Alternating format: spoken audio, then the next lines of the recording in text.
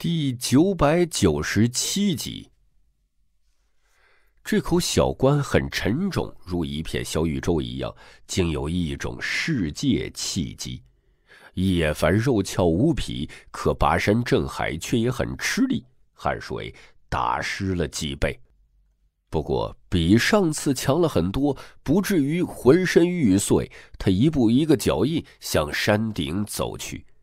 因为生命神泉快喝光了，急需补充。九座圣山巍峨雄浑，一如过去寂静无声，没有一丝异动，像是亘古长存，又如诸神的安息之地。一路上古木参天，崖石兀立，更有一些白色的碎屑，那是枯骨所化，记述了昔日的传奇与无奈。叶凡每一步落下，都陷入土石中，没过膝盖。他艰难地登上了圣山，口中咬着一块圣果肉，抵抗岁月，不致衰老。山巅一方小池清澈而流芳，沁到人的骨子里。叶凡痛饮泉水，装满玉净瓶，又陆续去了其他山峰，储存所需。最终，他背负青铜小棺来到崖边，向无尽深渊下望去，运转元天神眼看五色祭坛，那是他的一块心病，总想跃下去重返故乡。破败的祭坛由五色石块铸成，刀痕剑孔，讲述了时间的无疆，岁月的漫长，也不知道见证了多少星空往事。一个人。叶凡大吃一惊，他见到一条身影，独立五色祭坛中心一动不动，如石化了一样，如时间长河中的一段古老的魔躯。他心头剧跳，那是什么人？怎么站在五色祭坛上方？是荒奴吗？距离太远了。无尽深渊下一片黑暗，他纵然生有神眼，也只能看到一个轮廓，不能细辨，让人心中凛然。叶凡一步一步下山，他没有敢久留。天知道五色祭坛上存在是什么东西，万一跳出来，可能会引起大祸。锵的一声。当沉重的青铜小棺重新落在巨果中，叶凡擦了一把汗水，咕咚咕咚的饮下十几口神泉，慢慢调息。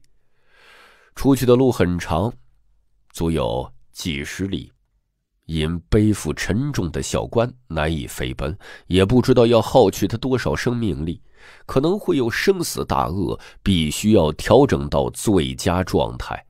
休息良久，叶凡站起身来，观看巨果上的一幅又一幅铜刻，怔怔出神，若有所思。古老的神奇，落泪的远古先民，这些意味着什么？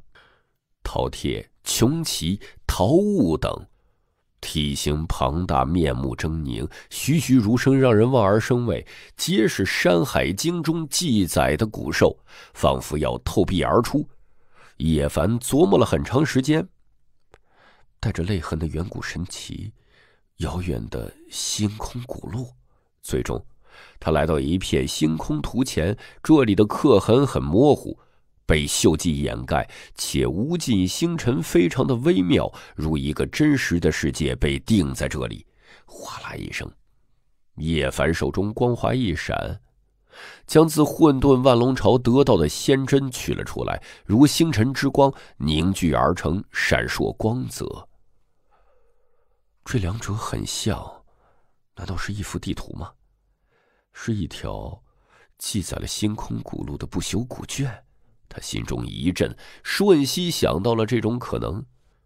太古年间，猴子的父亲老斗战胜皇，常在深夜观看，一定事关重大。一位古皇如此对待，定有惊人的秘密。九条龙尸横陈在外，叶凡自然又打起了主意。事实上，他很想将九条龙与巨国也扛走，奈何根本搬不动。龙尸冰冷而沉重，鳞片无光闪烁，如九条乌铁山岭一样亘古长存。接近他们，让人感觉要窒息。叶凡用力的劈斩，火星四射，强如他的肉身都剧痛，指骨都要碎了。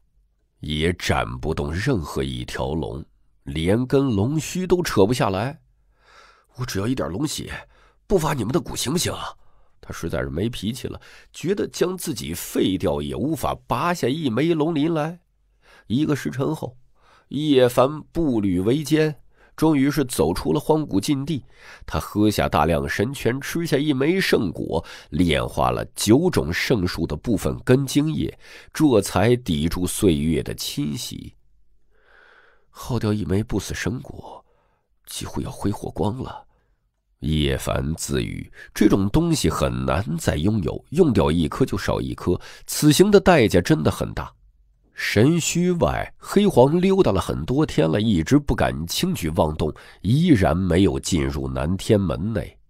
狗狗，不要乱跑哦！大黑狗身上的稚嫩小女童轻轻的拍了拍他的背。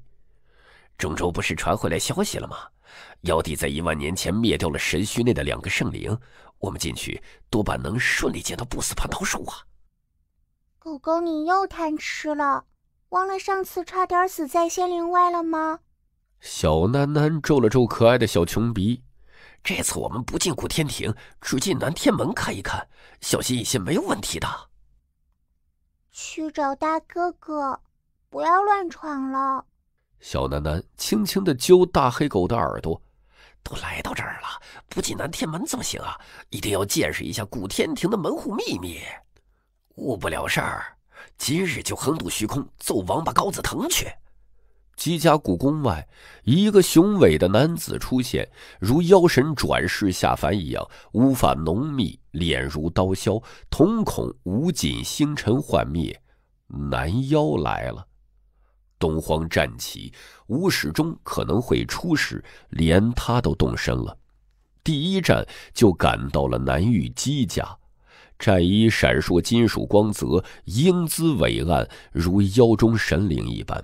在他旁边还有一个绝代佳人，容颜足以祸乱天下，绝艳无双，美的不可方物，正是其妹齐祸水。不久后，天际隆隆作响。一辆紫色的战车冲来，九头太古巨兽拉车，个个如小山一样，恐怖气息让人颤栗。十几名太古生灵在前开路，一个个面目凶悍，全部覆盖鳞片，有的还生有神齿，有的无腿而生蛇躯，荡起了一片魔云，滔天而上。这群古生物如魔神一样，来自神灵谷。为太古最强王族起源之地之一，全都杀气腾腾，竟也进入了机组。车上的人为紫天都。此外，与他共乘一车的还有一个紫发女子，如一个无瑕的精灵一样，连瞳孔都是紫色的，肌肤雪白如玉，乃是他的姐姐。在这最后两日。几家门庭若市，但凡有大身份的人都来了，全都预感到将有一场大风波，都想亲眼目睹。最后一天，东荒各大势力皆有人来，可谓是举世瞩目，都想看一看叶凡有何手段，能否逆转死局。叶子，你到底在哪儿啊？千万不能来送死啊！磅礴无比的焦急，他以妖帝传人的身份来此。姬家虽然客气，但是他却也改变不了什么。